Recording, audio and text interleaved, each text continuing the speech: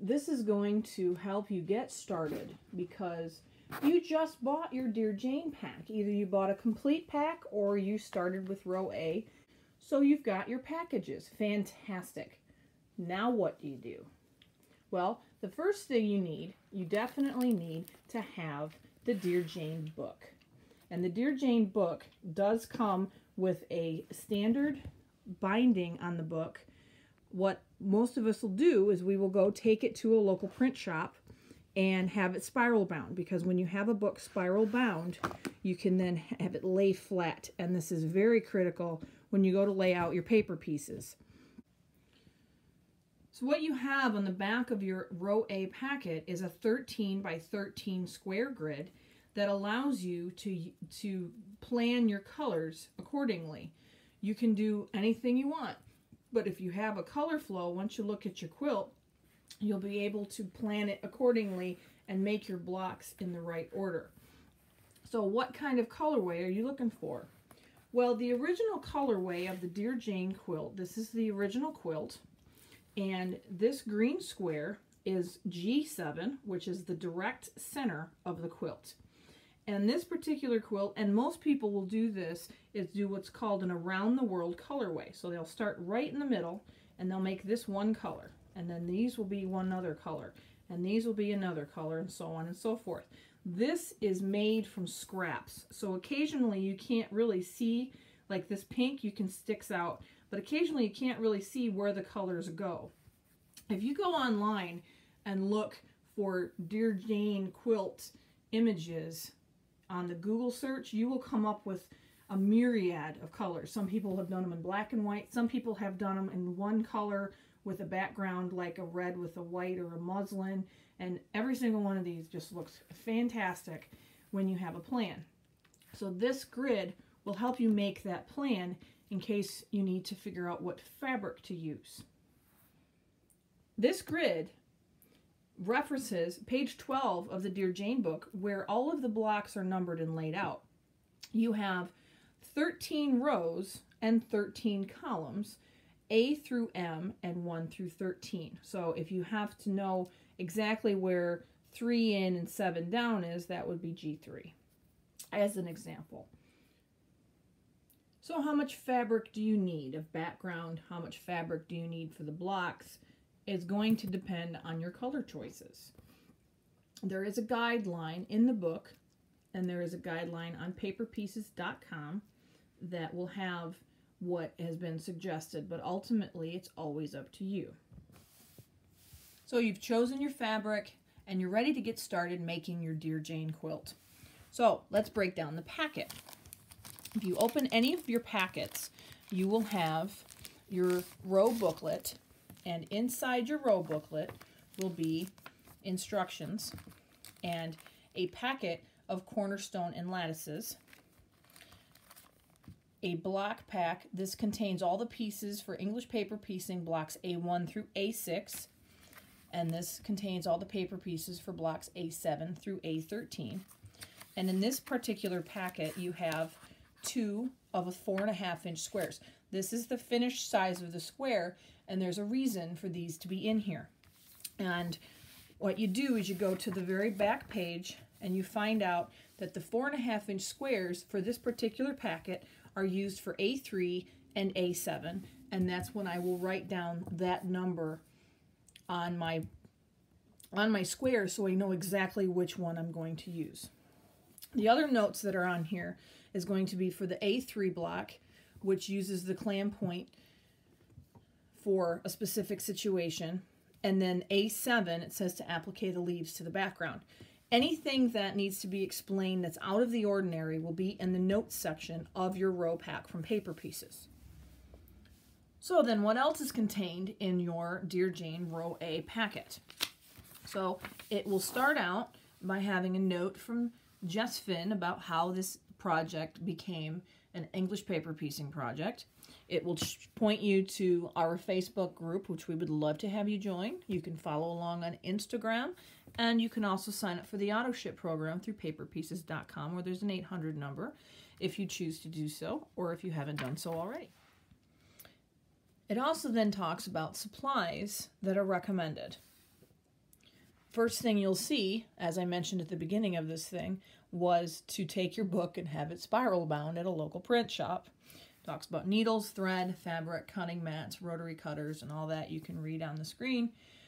I will go into what I prefer, why I prefer it in another video, and it will be called The Tools I Use, uh, and that will be an up and coming video.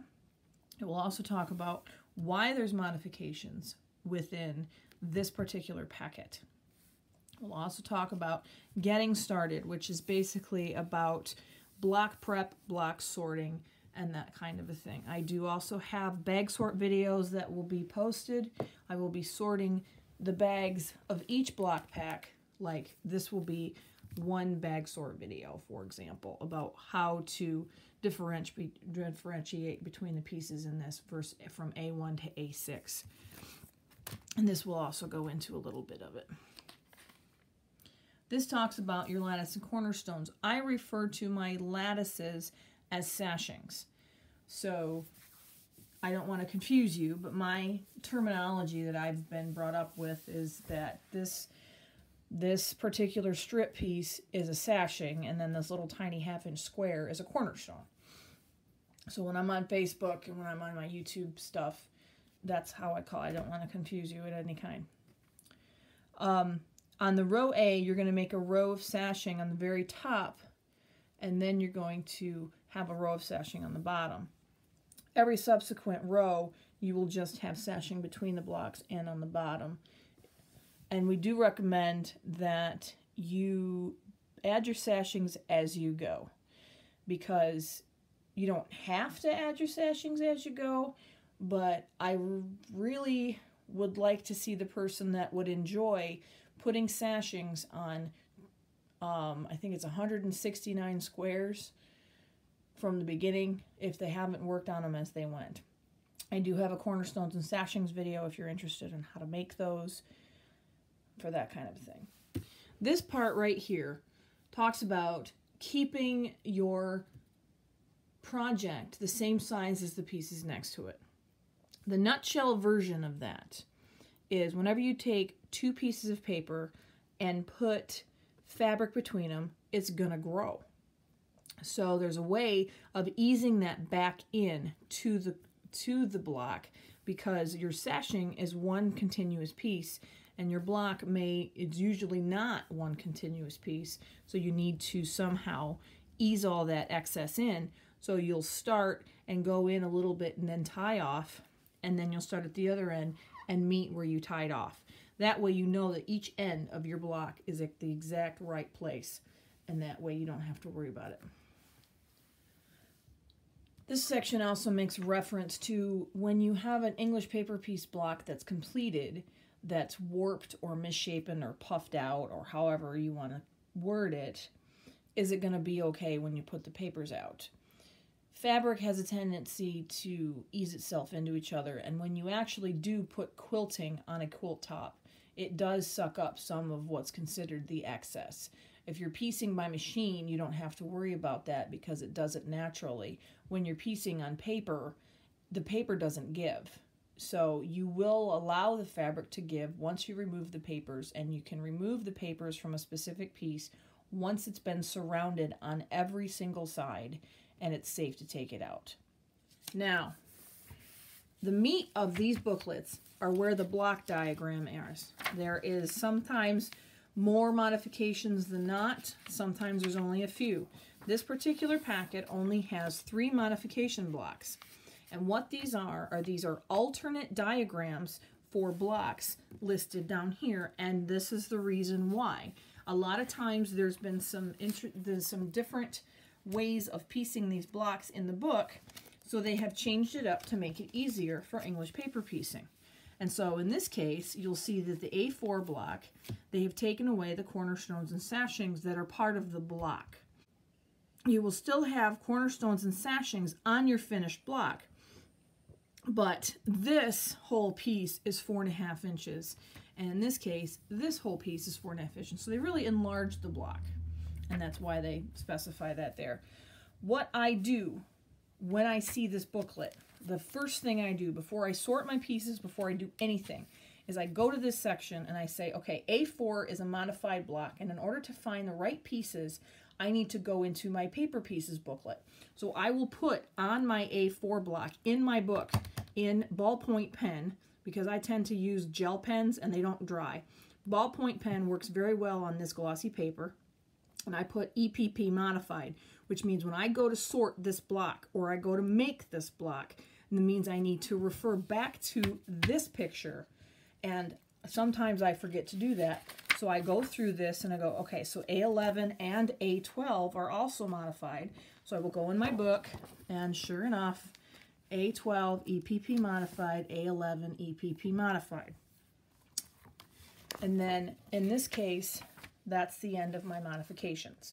The next thing you do is you take one of your bags, dump it out, and sort out which pieces go where. Anything that are modified are gonna you're gonna want to use the actual paper pieces booklet to put your pieces on to figure out which triangle goes where and all that fun stuff. I do have bag sort videos. If they're not listed now, they will be in the future where I will break down each specific bag of a row pack because there are little tricks to each single one of them. Some of us on the Facebook page have found some issues. For example, the octagon drama of the F3 block comes to mind. And just little hints and tips that we've learned along the way. Anything that you find that's been kind of tricky in here, you can either ask questions on the Facebook group or report to us and say, hey, I found this out, beware. Because some of us may not have noticed, some of us may not have gotten to that point yet, and others of us may have already solved that, so we can either help you solve it, you can make us aware that it's a problem, or anything in between. So we always appreciate that community participation, and that's how these videos came to be about.